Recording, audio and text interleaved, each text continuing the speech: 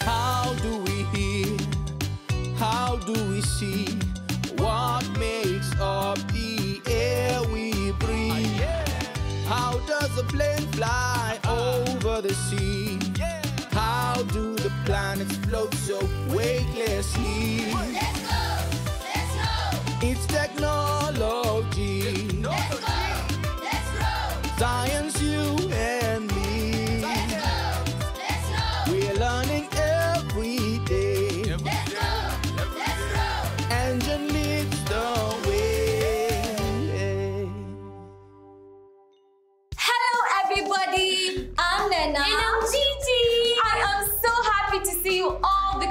Today we are starting a special journey to learn about all the plants, animals, and insects that share this beautiful planet with us. We'll go on adventures to learn about how they live and what we need to do to live together in peace. That sounds exciting. But it's a big job because the world is a big place and there's so many creatures in it. Where will we start? There's so much to learn. There are oceans and skies and lives everywhere. But I think we should start in the forest with an animal that's the biggest, the baddest, and the strongest. Wait, what do you mean baddest? I mean bad as in good. And I'm talking about gorillas. They are the biggest primates, which is a kind of ape. And I think we should start with them because scientists say in the far, far distant past, we humans developed on the same path as gorillas and other primates. And then we split away to become slightly different animals. They live in the wild, but there aren't many of them left because we are cutting down the forest and taking up so much space, we are squeezing them out of their homes. But that's not right. It's not right and it's not fair. I wish I could meet these creatures. But they live in rainforests. Did you say? Is that far away? Well, I happen to know people who know someone who works in the second largest rainforest in the world. Let's go! Let's go! We're learning every day. Hi, my name is Tendo. And I'm his brother Indigo. Our mom is a wildlife vet and she specializes in gorillas, the mountain gorillas you may have heard or seen on TV. She wants to protect them from diseases and also from people who may want to harm them. Poachers! It's a very important job because there are only 1,063 gorillas left in the wild, and 460 of them are here in Bwindi Impenetrable Forest in Uganda. That's where we've been coming since we were babies, and we have made lots of friends here. On this trip, we're surprising two of them, Briona and Deus, and taking them along on a mountain gorilla tracking adventure. Wow. You can track gorillas if you're 15 or older.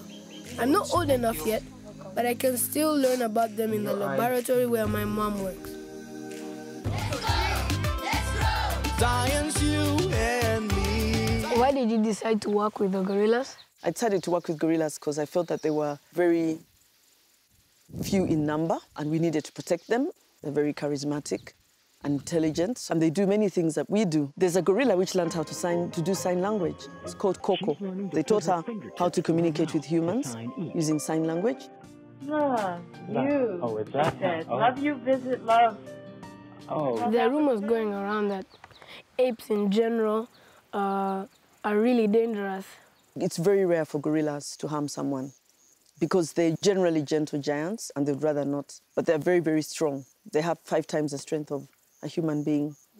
It's a really amazing experience when you get to Why see Why do you them. have to be 15 to see the gorillas? Children have childhood diseases like measles, mumps, and those diseases can be passed on to the gorillas. We share over 98% genetic material and can make each other sick. Wait, what does Indigo's mother mean when she says we share 98% of our genetic material with gorillas? Dr. Gladys means we are made from the same stuff. Though? They don't look like us. They are covered in hair, their skin looks really tough, and they're huge. We don't look the same from the outside, but we are made from the same stuff on the inside at microscopic level, which is really, really small.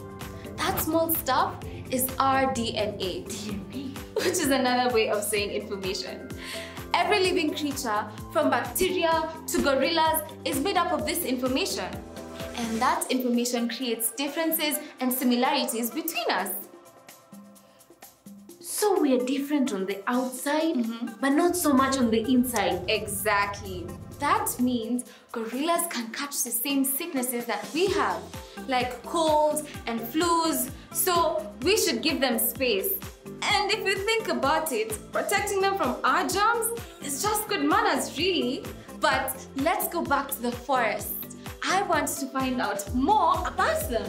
Let's know We're learning every day. This is a map of Bwindi, impenetrable forest. There's over 20 habituated gorilla groups. Is this where exactly all the groups are, or it's just an estimation? It's just an estimation because the gorillas move a lot every day. This one may be here, next time here. Yes. and we are going for Rushegura uh, group. This Rushegura group has around 19 individuals. That's a really big family. The leader of the group is an alpha male. He has silver hair on his back, and that's why he's called Silverback. What's interesting is that this group has two silverbacks, which is rare, as they normally fight. Gorilla babies were born last year in the Rushegura group. Hopefully, we'll meet them today. It's going to be a long and difficult hike, so walking sticks will come handy.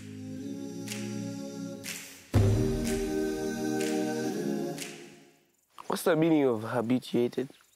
Habituated means getting them used to you. So when you first go to see gorillas and they're completely wild, they're about like 100 meters away and then they shrink back into the bushes.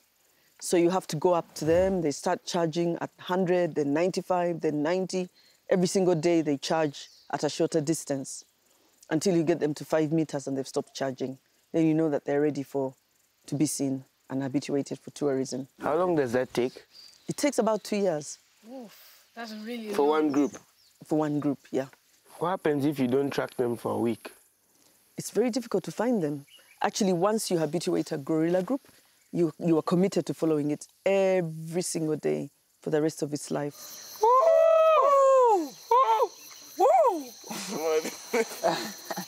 Uh, we can uh, know the gorillas are close to us by hearing their chest beating, Okay. as well as smelling them. But it, the smell, uh, especially when they are farting, uh, it, it smells nasty. It's not a good smell yeah. because they fart a lot because of too much food. Three hours hiking up, there was no sign of gorillas yet. And all of a sudden, This is a gorilla nest. Every day they make a new nest, a new bed, and they sleep in it. And the mom normally sleeps with the baby until the baby's about four years old, when the baby's old enough to build its nest. It means we're on the right track. That's how rangers find gorillas every day. They look for the night nests first, and then they can see which direction the uh, gorillas move. And when they are waking up in the morning, they leave the poop. Mm-hmm. And this poop helps us when we are counting to know how many individuals are in the group. There must be So being a wildlife scientist means to work with poop a lot. Mom calls it the fecal sample. And fecal samples can say so much about the gorillas, their group structure, and of course if they're okay or sick. I saw some blood stain in the feces of a gorilla. This is very serious. We have to take a sample now. Well, that may be an indication of an infection. So what happens if you do not take the test? If you don't take the test, then you may miss a disease. And this gorilla will get sick and others, it may make others sick. We're doing lots of important scientific work on the way to make sure the gorillas are healthy. Gorillas always build nests very close to one another. One more here. I found hair. This here is silver. for silverback. Okay. Yeah, Yeah. this, there are two silverbacks in this group. Yeah, One of them is called Kabukojo, who's the lead silverback. yeah, And the second one is called Kalembezi. yeah. So this could, I could be for either one of them, who hopefully we'll see today. Nani huyo mwenye anagopa It looks like finally we're very close to the gorillas. The forest became so dense. Forget the trail. We have to go straight through the bushes. Those who are going close to gorillas are changing to different types of masks.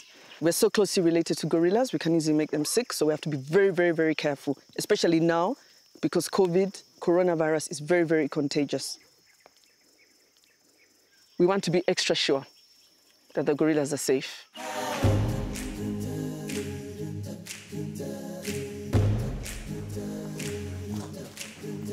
Wow. Come this side slowly. The leader of the group himself, Silverback Kabukojo, is meeting us first. He has to check that we're not dangerous before he can let us meet his family.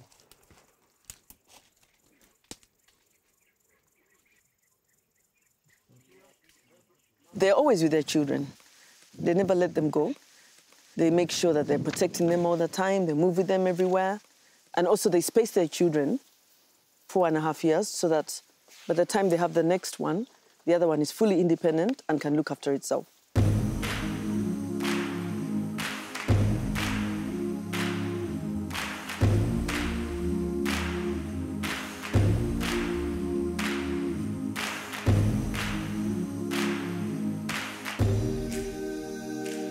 How does the mother take care of the babies? Yeah, the moms are very motherly.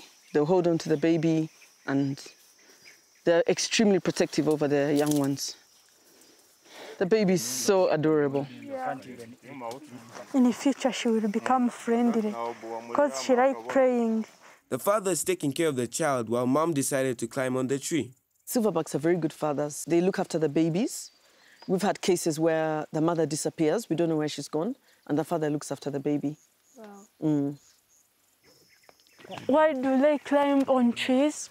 Because he's going to get something to eat that's up in the tree that he can't get down. Yeah.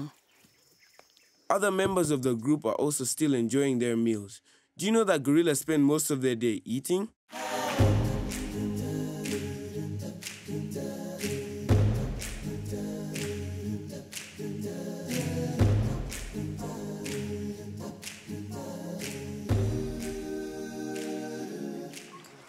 Why does it eating stems instead of leaves? Because it also gets moisture from the stem, like kind of water. So over here, we have Kanywanyi. He's a big blackback. Um, he's the third eldest in the group among the males, and he's soon going to silver. What is that? That sound just means that the gorilla is warning us that he's here, and we have to be careful not to get too close. When he's doing his lips, don't think of cheating your chest, because what happens if you hit your chest in front of a gorilla? Maybe to want to fight. Exactly. You're trying to say, I'm also strong.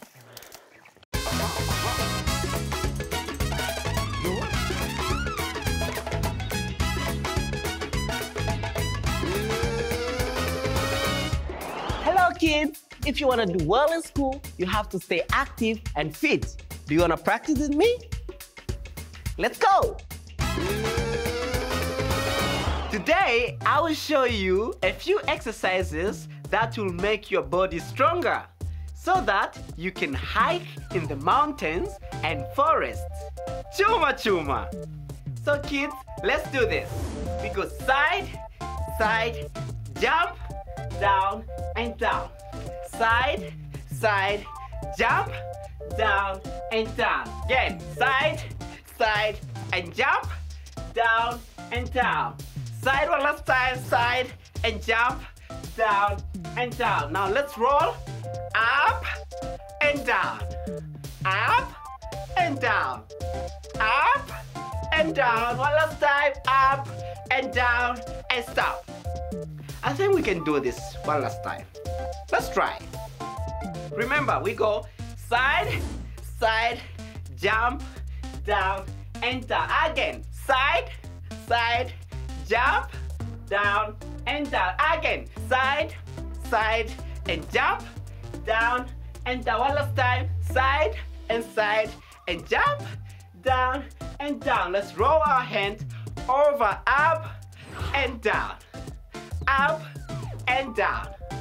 Up, down. Up, down. Good. Up, and down. Quick. Up, and down. One last time, and down, and stop.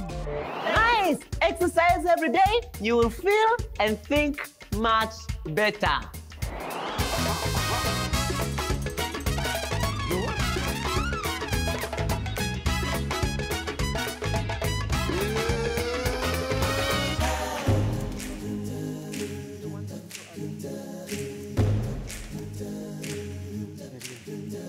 Wow, look at that baby gorilla. It looks unusual. This baby, the mother of this baby is called Chibande.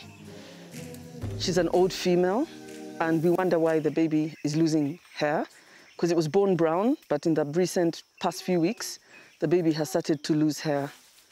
So we're concerned about that. The baby's really losing weight. It's still hanging on and breastfeeding, but the fact that it's losing hair is not good. And we don't know how it's going to survive in this cold forest of Bwindi. We're just hoping that the, the hair will grow back. The mum is old, so it could be due to malnutrition. So that's something we're very concerned about.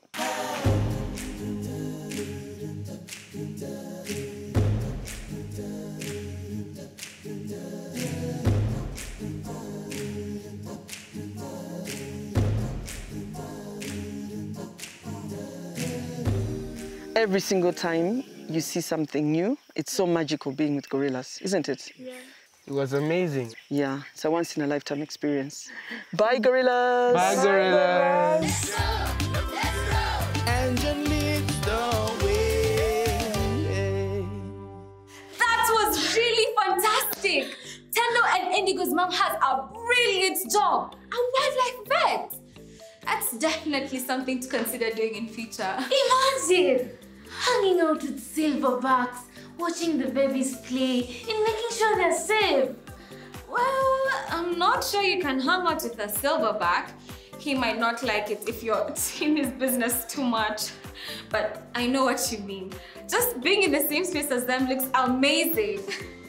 Why do some people behave as if we have more rights to this earth than gorillas do? People who say that are talking poo. We should respect the rights of gorillas to be here. Yep. And speaking of poo, Now, finally, something I can participate in. Analyzing the poop.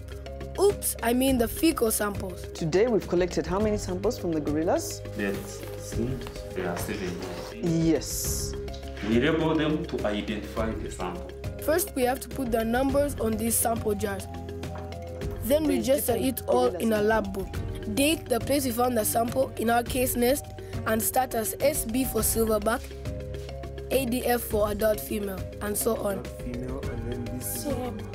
Ah, silverback. Yeah. With these samples, some of it is going to be used for looking under the microscope for parasites, worms, worm eggs.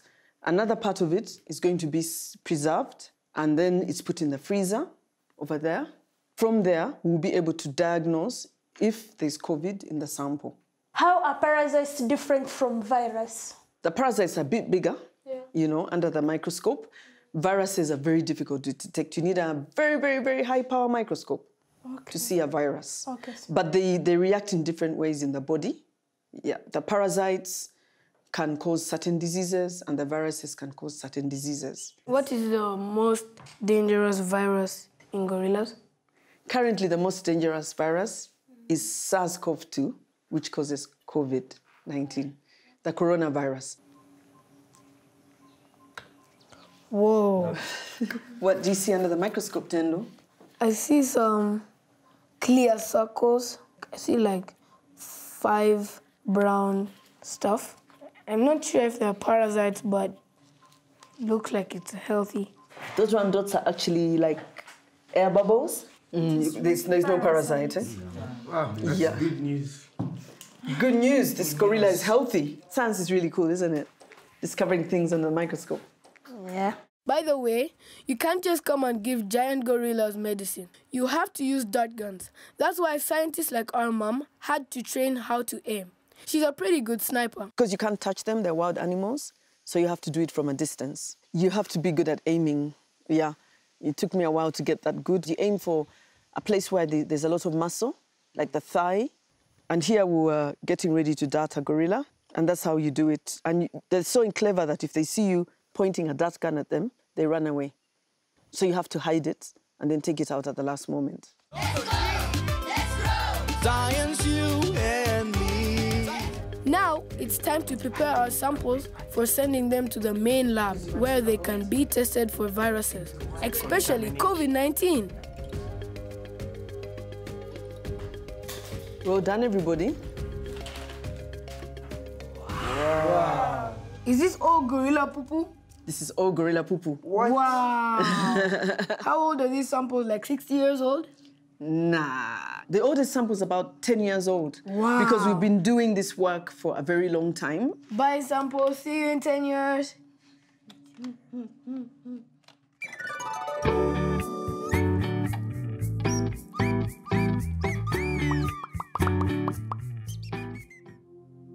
Let's take a moment to slow down and focus.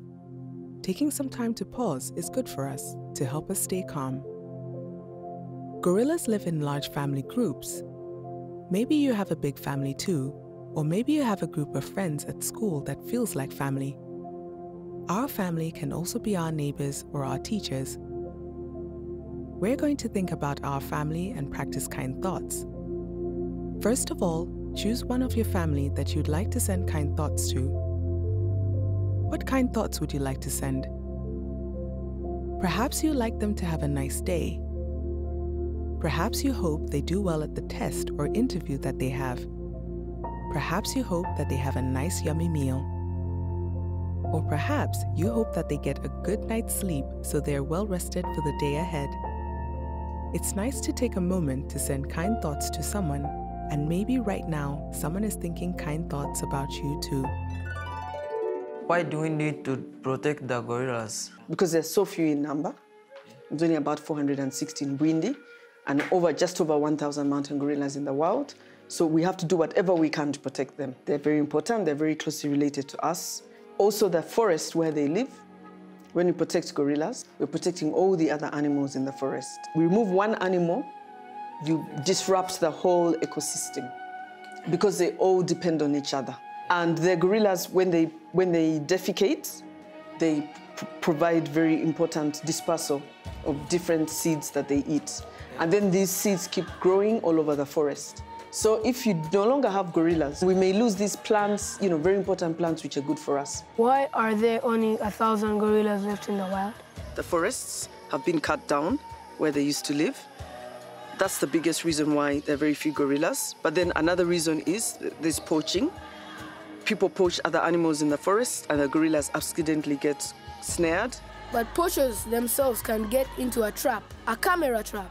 stealth cameras in the forest aiming at recording poachers as well as elusive or shy animals that we may not ordinarily or commonly see. The rangers took us on a mission to set up new camera traps. We go for this tree. But the island doesn't have the things for covering it. Oh yeah. So we'll, face, we'll put it facing the trail. Yeah, I'm gonna turn it on. Yeah. Wait, hold up, hold up, hold up. So what are you setting it for? Footage of capture. gorillas capture. To capture girl footage of them. Is it locked? Then you lock it with the key. Cover it so no one can see it. Yeah, I've covered it. Make sure you don't block the camera with this one. Yeah. And there we go. Camera trap is set. So your job is very important, right? Yes, it is. Why do you think it's important? Uh, because it helps the gorillas to to stay alive. My hopes are that the numbers of gorillas will continue to grow, and the problem is we don't have enough space for them. So we're trying to raise funds to expand their habitat so that there's enough space for them. Because right now they come outside into people's gardens and people get annoyed. They eat people's banana plants, then they get pick up diseases and they destroy people's livelihoods. But if there's enough space, then there's less conflict with the communities. If you expand their habitat, won't it be harder and longer to track them? It will be harder and longer to track them. Sorry, Indigo. So you might have to live in the forest sometime. Nah. Allow me to congratulate you upon the successful gorilla tracking. We give you a gorilla tracking certificate.